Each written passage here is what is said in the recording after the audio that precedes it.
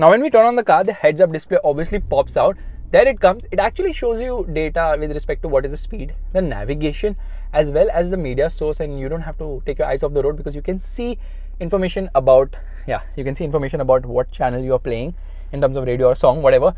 It gets dual roofs, but you have to manually open it because if I open it like this, okay, here we go, and this thing will not recline, unfortunately. So you have to manually do it. Oh my god, at this price, I expected better for sure. Dashboard looks really nice. This keeps changing its color as when it wishes. So when I turn on the air conditioning, here you see, depending on how I'm moving the air conditioning knob, that also changes color. Gets a nice reverse parking camera as well. Now this is a bigger screen, which is an 8.8 inch unit. This is a 5.5 inch unit. Lot of information on offer. Steering gets the JCW treatment. Looks very nice. You get the gear lever here, which is nice to operate. Good storage space here, along with an ashtray as well. So yeah, aircraft style knobs, really fantastic.